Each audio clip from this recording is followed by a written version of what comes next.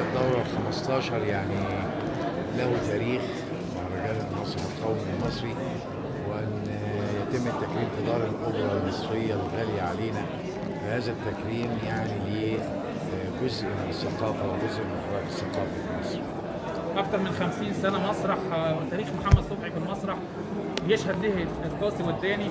آه، إيه الجديد اللي ممكن يقدمه محمد صبحي للأجيال القادمة؟ بما إننا دلوقتي في المهرجان القومي للمسرح وإن أغلبه موجود منه آه، أصول الثقافة الجماهيرية مسرح الجامعة. الشباب محتاجين من حضرتك الدعم بشكل ما. إيه الدعم اللي ممكن تقدمه؟ الحقيقة أنا بقدم ده بقالي 50 سنة. إن أنا بعمل في الاستوديو الممثل بيتقدم لها 1000 و1500 أو 2000 من كل المحافظات وبيختار منهم مجموعة علشان آه، تاخد كورس تتدرب وتدرس مجانا بلا مقابل آه، بشرط أن يمتلك الموهبة. بس أنا بقول إن ده عناء بالنسبة للمحافظات إنها تيجي القاهرة أو يبقى مواظب على الدراسة ولكن إحنا محتاجين إن هذه البؤر الثقافية هي اللي تصنع الحراك الثقافي في 27 محافظة. كل محافظة يبقى فيها أكثر من آه، تجمع يعني. آه، النهارده إحنا بنتكلم ما نقدرش نتكلم عن الثقافة لوحدها. إحنا بنتكلم على ثلاث محاور لبناء الإنسان اللي هي التعليم والثقافة والفن يعني بما داخلها الفن. نمرة ثلاثة الإعلام. المفروض الثلاث روافد دول هم اللي بيشكلوا وجدان الطفل اللي عنده ست سنين اللي نهتم بيه آه، هو جزء من التنمية المستدامة والأهم عنصر في التنمية المستدامة إن الطفل ست سنين ده بعد 20 سنة يستطيع أن يقود أمه يبقى قدوة يعني. تكريمك في مهرجان المنصورة الأول لسه من من فترة قريبة.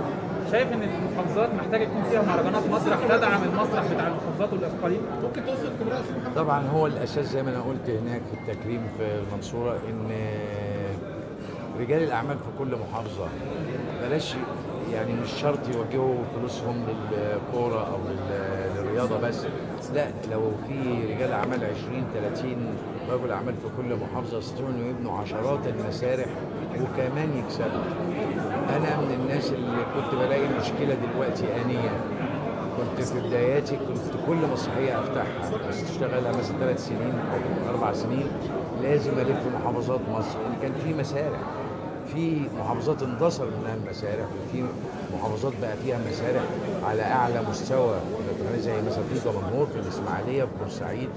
يعني أسمع إن في محافظات بقى فيها مسارح بس ما تقدرش تتحرك في محافظتين ثلاثة انت محتاج إن إن بدل ما تنقل الجمهور من منصورة ولا تنقله من الزقازيق أو تنقله من البحيرة أو تنقله من الصعيد لا لما يبقى في مسرح مجهز في المحافظات دي هيبقى سهل على الفرق حتى المسرحيه اللي في القاهرة إنها تعمل التورنيه أو الجولة.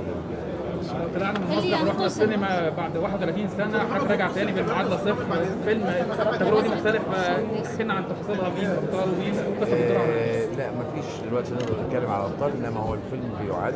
حضر بقاله دلوقتي داخلين على سنة. وأنا بقول إن هو ده الفيلم اللي رجعني إن أنا أقدر أشتغل سينما تاني لأنه بيتكلم عن حدث جلل ممكن يحصل في العالم ومحدش بيتكلم عنه. آه، الفيلم آه، هو طبيعته طبعا الكوميديا أساس ولكن الغصه كمان من اللي هيحصل مؤلمه